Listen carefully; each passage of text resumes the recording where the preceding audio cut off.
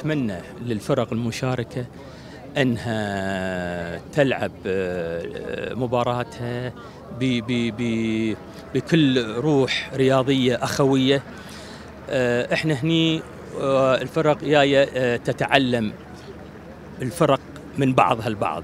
ثقافة رياضة جميع ال ال ال الأمور اللي تخص الرياضة الشرطية. وبالتالي كل الشكر والتقدير للجنة المنظمة العليا على هذا الافتتاح الرائع والتنظيم الرائع والضيافة والكرم. إحنا هدفنا الأساسي أن نحتفل تحت شعار أرفع علمك.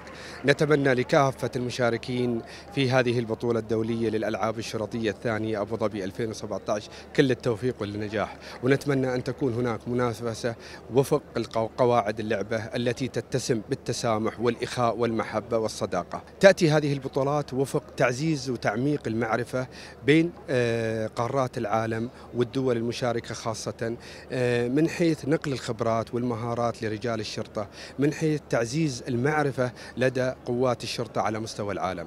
وفي الختام تمنياتي لكم بالشكر والتقدير للفرسان وقناة العين الإخبارية. كل التوفيق والنجاح.